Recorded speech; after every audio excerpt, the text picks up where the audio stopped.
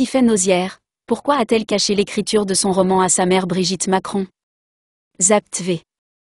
Ce mercredi 13 mars 2024, Anne-Elisabeth Lemoine recevait Tiffaine Osière pour faire la promotion de son premier roman, Assise, dans lequel l'avocate raconte l'histoire de femmes victimes de violences conjugales.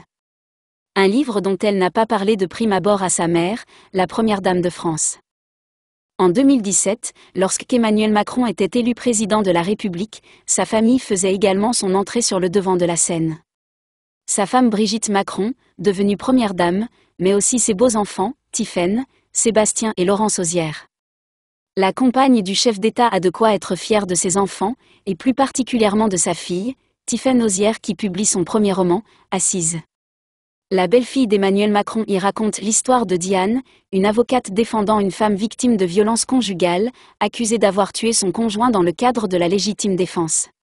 Un sujet important pour l'autrice qui tente de combattre les injustices. La justice, ce n'est pas que des faits divers, elle peut être profondément humaine et parfois injuste. Avec ce livre, j'ai voulu montrer sa complexité, expliquer comment elle fonctionne, a-t-elle confié aux Parisiens. Ne rien dévoiler pour garder l'objectivité.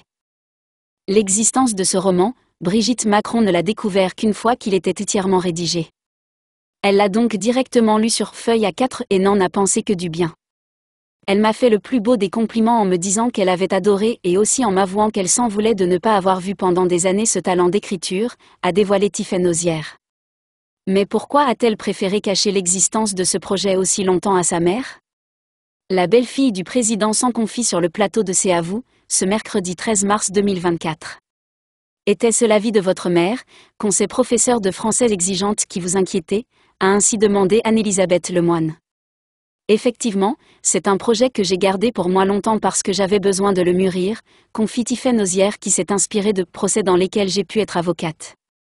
Ne pas le dire à ses proches, c'était pour éviter leur manque d'objectivité. Une fois vérifiée par les professionnels, elle a eu l'avis de la maman et de la professeure de français.